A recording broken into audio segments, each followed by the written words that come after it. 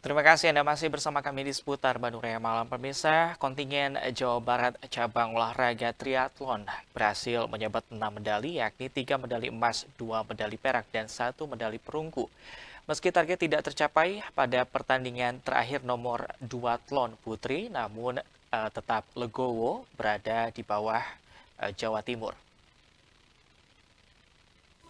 Di hari terakhir cabang olahraga triathlon, kontingen atlet triathlon Jawa Barat meraih tiga medali emas atas nama Amila Rashif nomor aquathlon distance dan triathlon sprint, Sedil Tapilon nomor duathlon putra, dua medali perak dari Arya Andra Fauzi nomor triathlon distance putra, Eva nomor duathlon putri dan medali perunggu atas nama Kaila Nadia aquathlon putri.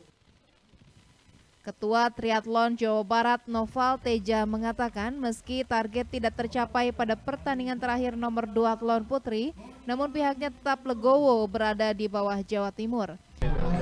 Ya, seperti yang kita lihat tadi hasilnya memang di luar prediksi kami, yang mana selama dari perjalanan eh, event kemudian terakhir di Kejurnas, Eva itu adalah juaranya dan jauh. Tapi kenyataan di hasil maaf di hasil sekarang ini yang di PON duathlon putri ini inilah hasilnya dan saya harus menerima apa pun hasilnya yaitu Eva di urutan kedua dan Jatim ke satu dan ternyata ini hasil terbalik di hasil sewaktu kejurnas kemarin dua bulan yang belakang.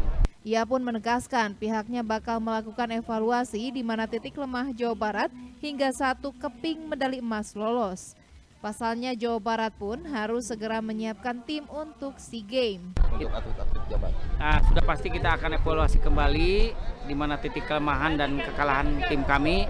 Karena kenapa? Karena kami pun harus menyiapkan langsung untuk seleksi SEA Games di akhir bulan yang rencananya insya Allah akan dilaksanakan di Jawa Barat, Kota Bandung untuk meraih tiket uh, atlet dominasi SEA Games dari Jawa Barat.